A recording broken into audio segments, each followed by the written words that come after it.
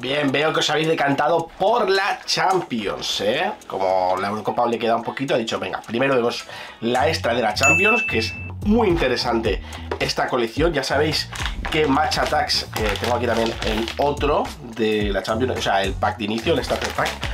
Ya sabéis que la colección de la Champions de Match Attacks eh, siempre saca la de Attack normal y luego sobre estas fechas más o menos saca la extra, que bueno, que viene un poquito más actualizada, con los nuevos fichajes y pues con ediciones especiales diferentes a la Match Attacks eh, inicial. A mí personalmente siempre me ha gustado más la extra, porque yo que sé, le meten un poquito más de salsa, está más actualizada.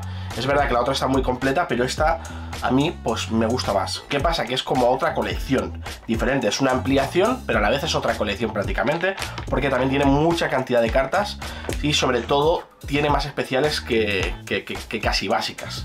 Así que nada, vamos a destipar esta colección eh, vamos a abrir todos sus productos, pero como ya sabéis, estoy haciendo vídeos dinámicos. Vosotros elegís qué producto os apetece ver primero. Así que en este caso tenéis que elegir con qué os quedáis primero, si con el Starter Pack o si preferís primero ver la cajita.